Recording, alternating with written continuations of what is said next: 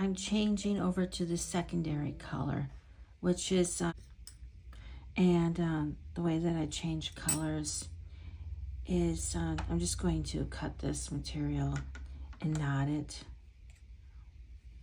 and weave in the ends.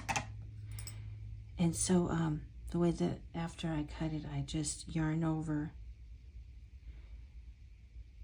and pull through on the last loop. And uh, it's always good to double knot it if, if you prefer. And then you're going to find your last stitch and put your crochet hook through it.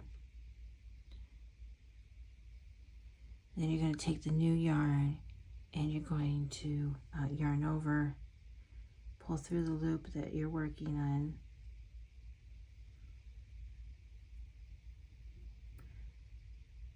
Okay, and so uh, knot this in here if you... Please like and subscribe my video. This is Scooby.